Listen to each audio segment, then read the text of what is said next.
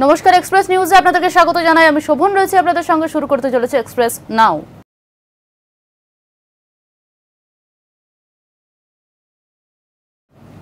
চোখ রাখব খবরে।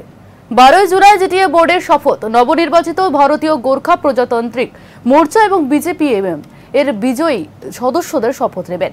শপথ গ্রহণ অনুষ্ঠানে উপস্থিত থাকবেন মুখ্যমন্ত্রী মমতা বন্দ্যোপাধ্যায় বলে নিজেই জানিয়েছেন জিটিএ বোর্ডের সম্ভাব্য চিফ অনিপ থাপা। সেই সঙ্গে তৃণমূল সংসদ এবং তৃণমূলের সর্বভারতীয় সম্পাদক অভিষেক বন্দ্যোপাধ্যায় থাকার কথা রয়েছে। অভিষেক এগারোই জুলাই উত্তরবঙ্গের ধূপগুড়িতে একটি কর্মসূচিতে যোগ দিতে জানবেন বলে আশা রয়েছে এবং সেখানে জিটিএ শপথ গ্রহণ অনুষ্ঠানে উপস্থিত থাকবেন বলেও জানা গিয়েছে। জিটিএ শপথ গ্রহণ অনুষ্ঠানে আগামী বারোই জুলাই দার্জিলিংয়ে যাচ্ছেন মুখ্যমন্ত্রী মমতা বন্দ্যোপাধ্যায়। ওই দিন জিটিএর চেয়ারম্যান হিসাবে শপথ নেবেন ভারতীয় গোর্খা প্রজাতান্ত্রিক মোর্চার প্রধান অনিত থাপা। অনিত বুধবার নবান্নে মুখ্যমন্ত্রীর সঙ্গে দেখা করে শপথ গ্রহণ অনুষ্ঠানে থাকার জন্য আমন্ত্রণ জানান। তিনি বলেন, পাহাড় বাংলার সঙ্গেই আছে। উত্তরবঙ্গকে আলাদা করার যে দাবি বিজেপি করছে, তা আমাদের কুড়ি বছর পিছিয়ে দিয়েছে। সেই সঙ্গে তৃণমূল সাংসদ এবং তৃণমূলের সর্বভারতীয় সম্পাদক অভিষেক বন্দ্যোপাধ্যায়ের থাকার কথা রয়েছে। অভিষেক এগারোই জুলাই উত্তরবঙ্গে ধূপগুড়িতে একটি কর্মসূচিতে যোগ দিতে আসবেন বলে জানা গিয়েছে।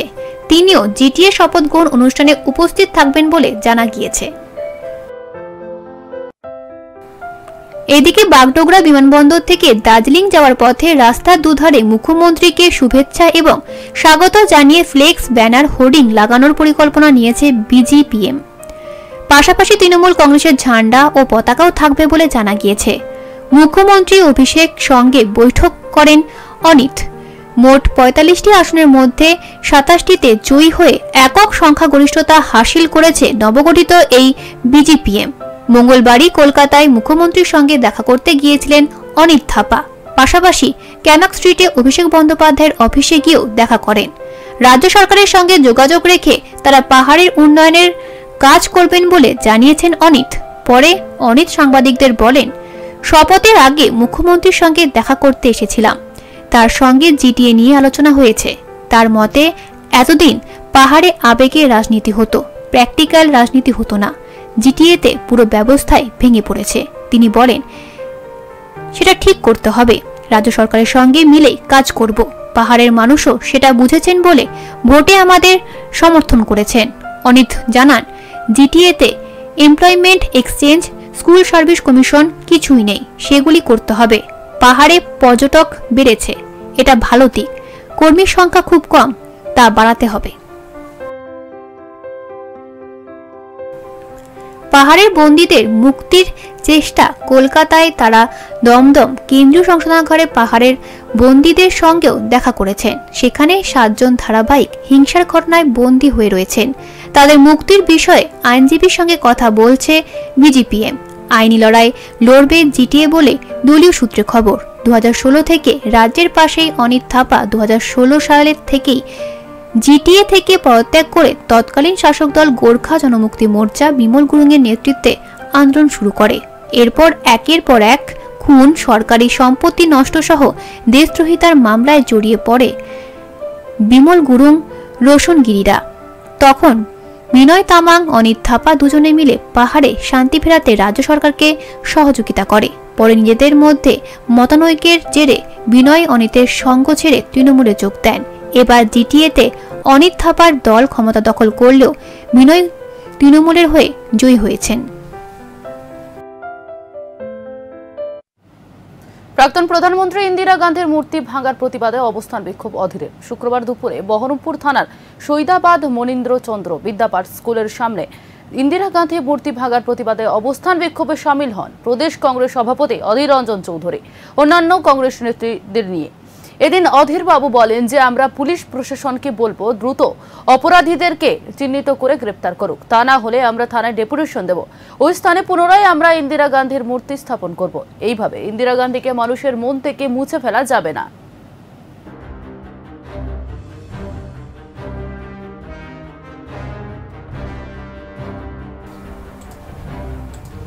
উল্লেখ্য, বৃহস্পতিবার বহরমপুর পৌরসভার পাঁচ নম্বর ওয়ার্ডের সৈদাবাদ এলাকায় ইন্দিরা গান্ধীর মূর্তি ভাঙার অভিযোগ ওঠে দুষ্কৃতীদের বিরুদ্ধে। সৈদাবাদ মহেন্দ্রচন্দ্র বিদ্যাপীঠ স্কুলের ফটকের একদিকে ইন্দিরা গান্ধীর মূর্তি, অপরদিকে রাজীব গান্ধীর মূর্তি ছিল। রাজীব গান্ধীর মূর্তি ঠিক থাকলেও মাথা ভেঙে দেওয়া হয়েছে ইন্দিরা গান্ধীর মূর্তির। তবে কে বা কারা এই মূর্তি ভেঙেছে তা এখনও জানা যায়নি। মূর্তি ভাঙার ঘটনাতে ক্ষোভে ফেটে পড়েছেন বহরমপুর পুরো এলাকার কংগ্রেস কর্মীরা। প্রাক্তন প্রধানমন্ত্রী ইন্দিরা গান্ধীর মূর্তি ভাঙার প্রতিবাদে অবস্থান বিক্ষোভে সামিল হলেন প্রদেশ কংগ্রেস সভাপতি তথা বহরমপুরের সাংসদ অধীর চৌধুরী। শুক্রবার দুপুরে বহরমপুর থানার সৈদাবাদ মনীন্দ্রচন্দ্র বিদ্যাপীঠ স্কুলের সামনে এই বিক্ষোভ কর্মসূচিতে অধীর রঞ্জন চৌধুরী ছাড়াও উপস্থিত ছিলেন অন্যান্য কংগ্রেস নেতা ও কর্মীরা। অপরাধীদের দ্রুত গ্রেপ্তারের দাবিতে অধীর রঞ্জন চৌধুরী বলেন, আমরা পুলিশ প্রশাসনকে বলব দ্রুত অপরাধীকে চিহ্নিত করে গ্রেপ্তার করুক। তা না হলে আমরা থানায় ডেপুটেশন দেব। ওই স্থানে পুনরায় আমরা ইন্দিরা গান্ধীর মূর্তি স্থাপন করব। এইভাবে ইন্দিরা গান্ধীকে মানুষের মন থেকে মুছে ফেলা যাবে না।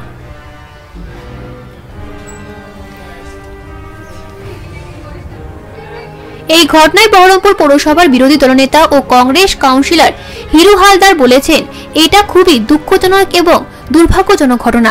আমরা দীর্ঘদিন ধরে স্কুলের সামনে এই দুটি মূর্তিকে দেখে আসছি। এরকম নক্কারজনক ঘটনা কারা করল তা আমরা জানি না। বিষয়টি আমরা প্রশাসনের নজরে এনেছি। বহরমপুর থানার আইসিকেও বিষয়টা জানিয়েছি। লিখিতভাবে অভিযোগ সৈদাবাদ পুলিশ ফাঁড়িতেও জানানো হয়েছে, আমরা এমন একটা দেশে বাস করছি যেখানে ইন্দিরা গান্ধীর মতো জননেত্রীকে সম্মান দেওয়া হয় না। আমাদের প্রত্যেকের আলাদা রাজনৈতিক মতাদর্শ থাকতেই পারে, কিন্তু তা বলে ইন্দিরা গান্ধীর মতো একজন জননেত্রীকে এভাবে অপমান করবে? কল্পনাও করতে পারছি না। তাই শুধুমাত্র পুলিশ নয়, বহরমপুরের শাসক দলের নেতাদেরও বিষয়টি জানানো হয়েছে। টিভি ক্যামেরায় মুড়ে দেওয়া আছে। তা সত্ত্বেও কি করে মূর্তি ভাঙে? এই অপরাধ কারা করছে? এই জঘন্য কুকাজ কারা করছে? পুলিশের তদন্ত করে তা বার করা উচিত। পিছনে স্কুল ঘণ্টা বাজছে। ছাত্র ছাত্রীরা তারা শিক্ষা নিতে এসে এসেছে। তাদের সামনে আমরা কি শিক্ষা দিচ্ছি? যে ভারতবর্ষ নামক দেশের জন্য যে শহীদ হয়েছে, এই দেশকে রক্ষা করতে যে শহীদ হয়েছে যার নেতৃত্বে আজকে আমরা খাদ্যে স্বয়ংসম্পূর্ণ হয়েছি, যার নেতৃত্বে বাংলাদেশ স্বাধীন হয়েছে, যার নেতৃত্বে এ দেশ শক্তিশালী হয়েছে, যার নেতৃত্বে এই দেশে প্রথম আণবিক বোমা আমরা তৈরি করতে পেরেছিলাম। সেই ইন্দিরা গান্ধী যাকে বলা হতো যে ইন্দিরা গান্ধী হচ্ছেন একজন লৌহ মানবী, সেই ইন্দিরা গান্ধীর মূর্তিকে ভেঙে একজন দেশের শহীদ প্রধানমন্ত্রী, দেশের জন্য যিনি নিজের জীবন ত্যাগ করেছেন, আজকে ছাত্রছাত্রীদের সামনে আমরা সেই উদাহরণ তুলে ধরছি। দেখো, আমরা কোন সমাজে বাস করি যেখানে ভারতবর্ষের প্রয়াত প্রধানমন্ত্রী যিনি দেশের জন্য শহীদ হয়েছেন, তার মূর্তি এখানে কেটে নেওয়া হয়। এই শিক্ষা আমরা দিচ্ছি। এই বাংলার স্কুলের ছাত্রদের এই শিক্ষা দিচ্ছি আমরা। তারা বেরিয়ে এসে দেখবে যে প্রতিদিন যে মূর্তিটাকে এখানে দেখতে পেত, কাল থেকে তার শিরচ্ছেদ করে দেওয়া হয়েছে। এখন সময় একটা বিজ্ঞাপন বিরতি ফিরে আসছি বিরতির পর সঙ্গে থাকুন।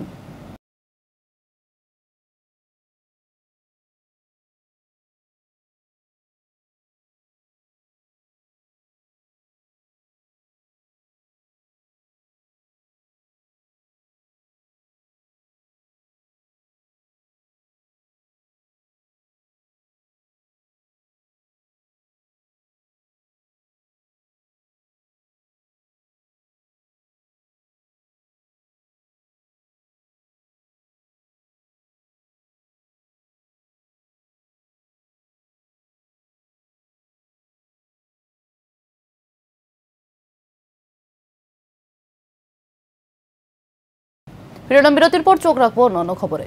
পাণ্ডবেশ্বর বিধানসভা, দুর্গাপুর, ফরিদপুর ব্লক অফিসের প্রাঙ্গণে নতুন এটিএম কাউন্টারের শুভ উদ্বোধন। এই এটিএম কাউন্টারটি শুভ উদ্বোধন করেন পাণ্ডবেশ্বরের বিধায়ক নরেন্দ্রনাথ চক্রবর্তী মহাশয়। ব্লক সমষ্টি উন্নয়ন আধিকারিক দেবজিৎ দত্ত মহাশয় এছাড়া উপস্থিত ছিলেন দুর্গাপুর, ফরিদপুর, তৃণমূল কংগ্রেস ব্লক সভাপতি Sujit Mukherjee. HDFC bank managing branch manager Bhushan Arora সহ আরও বিশিষ্ট ব্যক্তিবর্গ। এই প্রসঙ্গে বিধায়ক নরেন্দ্রনাথ চক্রবর্তী বললেন, ব্লক অফিস চত্বরে এটিএম মেশিনটি মূলত বিভিন্ন প্রকল্পের টাকা জনগণ ব্যাংকে না গিয়ে এখানে তুলতে পারবেন এবং লাউদহ সহ সমগ্র অঞ্চলের মানুষ এই এটিএম এর কাউন্টারের সুবিধা ভোগ করতে পারবেন। এইচডিএফসি ব্যাংকের ব্রাঞ্চ ম্যানেজার ভূষণ আরোরা বললেন, এলাকার সাধারণ মানুষের হাতের কাছে পরিষেবা পৌঁছে দেওয়ায় আমাদের প্রধান লক্ষ্য এবং আমরা চাই সাধারণ মানুষ এই সুবিধা উপভোগ করুন। দেখুন এখানে এর আগেও এটিএম উদ্বোধন হয়েছে বালিজুড়ি গ্রামে হয়েছে লাউদাতো এটিএম আছে। এবং আমাদের এটা এখানে একটা ব্লক অফিসের সামনে আমাদের এটিএম হওয়ার তো সুবিধা হলো। যে আমাদের যারা উপভোক্তা আছেন, তারা সঙ্গে সঙ্গে টাকাটা পাবেন, তুলতে পারবেন। ব্যাংক কর্তৃপক্ষ আমরা অনেক ধন্যবাদ জানাই যে এরকম একটা সুন্দর ইয়ে নেওয়ার জন্য।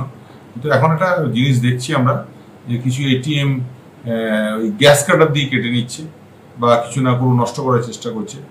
ওনাদেরকে অনুরোধ করবো যে সিসি ক্যামেরা এবং এখানে যদি গার্ড দেওয়া হয় সেটা খুব ভালো হবে वीडियो सर ने हमें अपॉर्चुनिटी दिया कि हम यहाँ पर मैंने एक एटीएम लगा सके इससे क्या है कि हमारे बैंक के साथ में ब्लॉक का भी रिलेशनशिप बना है और वो रिलेशनशिप हम लोग कंटिन्यू करना चाहते हैं और आगे भी बढ़ाना चाहते हैं साथ ही साथ जो यहाँ पे लोगों हैं लोगों को भी बहुत सुविधा प्राप्त होगी लोग आराम से अपना पै- पैसा निकाल सकते हैं ठीक है अ, द्वारा सरकार के थ्रू भी जो है अकाउंट खुलते हैं, उनमें से भी आराम से एटीएम से पैसा निकाल सकते हैं ताकि बैंक में जाने की ज़रूरत नहीं पड़े।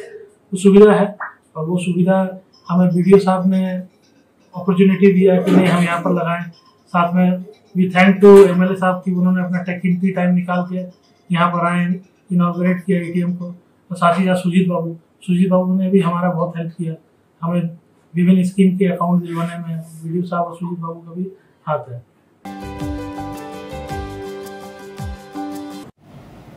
তৃণমূল সাংসদ মহুয়া মৈত্রের কুরুচিকর মন্তব্যের বিরুদ্ধে বহরমপুর থানায় লিখিত অভিযোগ দায়ের করেছে বিজেপি। শুক্রবার দুপুরে মুর্শিদাবাদ দক্ষিণ জেলা বিজেপি যুব মোর্চার তরফ থেকে মহুয়া মৈত্রের বিরুদ্ধে লিখিত অভিযোগ দায়ের করা হয়। মহুয়া মৈত্রের কুরুচিকর মন্তব্যের বিরুদ্ধে বহরমপুর থানায় লিখিত অভিযোগ দায়ের। বিজেপির যুব মোর্চার তরফ থেকে জানানো হয়, সারা দেশ ও রাজ্য জুড়ে মহুয়া মৈত্রের বিরুদ্ধে লিখিত অভিযোগ দায়ের করা হচ্ছে। অনুরূপভাবে মুর্শিদাবাদ জেলাতেও বহরমপুর থানায় আমরা লিখিত অভিযোগ দায়ের করলাম। যে সাংসদ হিন্দুদের দেবদেবী নিয়ে কুরুচিকর মন্তব্য করে, আমরা তাদের ধিৎকার জানাই। আমরা প্রশাসনের কাছে জানিয়েছি, অবিলম্বে কুরুচিকর মন্তব্য যারা করবে, তাদের জন্য দৃষ্টান্তমূলক শাস্তি হয়।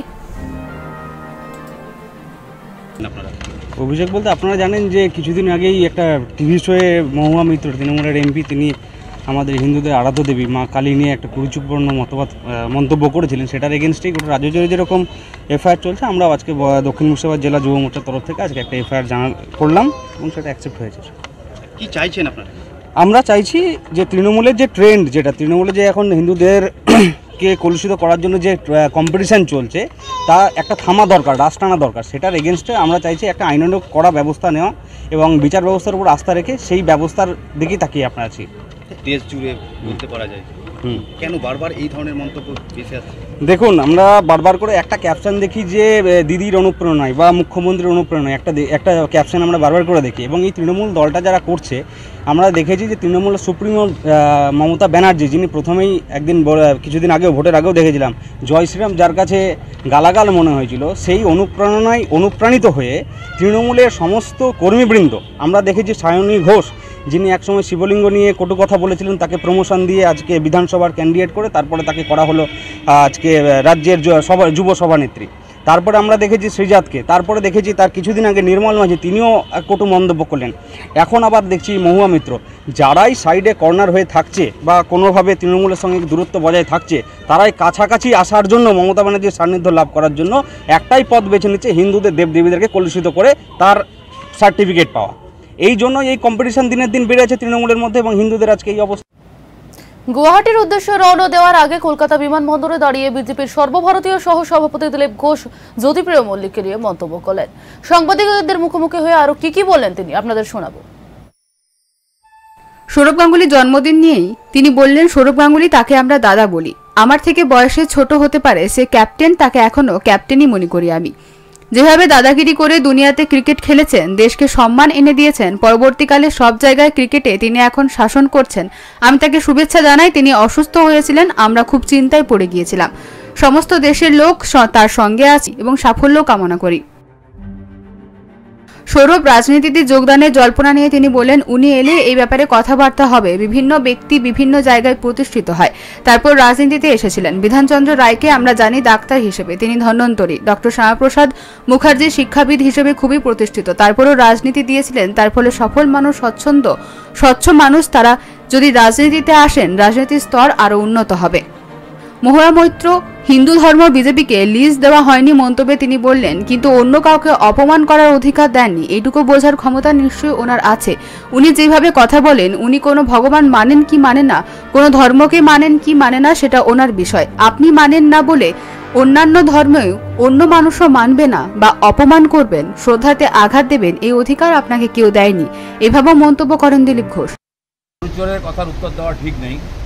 হাঁটার উত্তর আমি জু- জুতো পেটাও করতে পারি কিন্তু উনি মন্ত্রী ছিলেন। আর ওনার ইতিহাস ভূগোল সবাই জানে কোন স্তরের মানুষ। আর এই লোকেরাই টিএমসি। এরাই বাঙালি কালচারকে দূষিত করছে।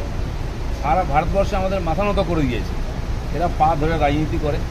এদের সম্বন্ধে বলার কিছু না আজকে সৌরভ গঙ্গোপাধ্যায় মহেন্দ্র সিং ধোনি এই মহা তারকা তাদের জন্মদিন। সৌরভ একটা সময় আপনাদের দলের সাথে কথাবার্তা চলেছিল। অমিত শাহ সৌরভ গাঙ্গুলির বাড়িতে এসে নৈশ ভোজও পড়ে গেছে। সৌরভকে নিয়ে আপনাদের অ্যাসেসমেন্ট কি এবং তাকে আপনি কীভাবে উইশ করতে চান? দেখুন, প্রথম তো সৌরভ গাঙ্গুলি তাকে দাদা বলি আমরা সবাই। আমার চেয়ে বয়সে ছোটো হতে পারেন তিনি সে ক্যাপ্টেন আমি তাকে এখন ক্যাপ্টেনই মনে করি। যে ধরনের দাদাগিরি করে উনি দুনিয়াতে ক্রিকেট খেলেছেন, দেশকে সম্মান দিয়েছেন এবং পরবর্তীকালেও সব জায়গায় ক্রিকেটকে এখনও শাসন করছেন। এটা বাঙালি হিসাবে গৌরবের আমি তাকে শুভেচ্ছা জানাই। তিনি যখন অসুস্থ হয়ে গেছিলেন, আমরা খুব চিন্তায় পড়ে গেছিলাম। সমস্ত দেশের লোক তার সঙ্গে আছে। তার সুস্থ জীবন দীর্ঘ আয়ু কামনা করে সাফল্য কামনা করে। কোনো অ্যাসেসমেন্ট কোনো পলিটিক্যাল অ্যাসেসমেন্ট সৌরভ উনি আহ, politics উনি করেন না কি করবেন সেটা উনি যথেষ্ট ভালো চব্বিশ বোঝেন। ঘণ্টার অনুষ্ঠানে উনি ইঙ্গিত দিয়েছেন উনি রাজনীতিতে আসবেন। না, উনি এলে এক্সপ্রেস নাও এখনকার মতো এই পর্যন্তই। দেখতে থাকুন এক্সপ্রেস নিউজ। মাথা উঁচিয়ে কুড়ি পেরিয়ে